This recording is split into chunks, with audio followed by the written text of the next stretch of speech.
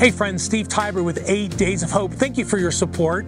Hurricane Helene hit the Gulf Coast. We were there the next morning, our mass feeding team, making thousands of meals for families in need. Since then, we've deployed here in Valdosta, Georgia, where we brought heavy equipment, chainsaws, laundry trailers, shower trailers, and so much more.